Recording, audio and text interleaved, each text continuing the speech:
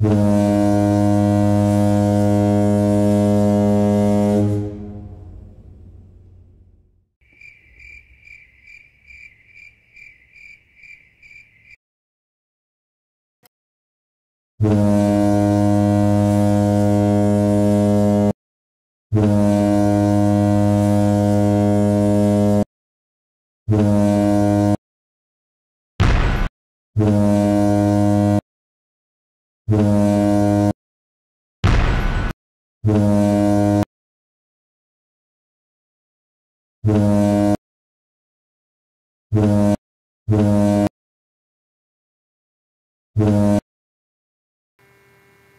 kan jag få köpa lite majs? Ja, visst.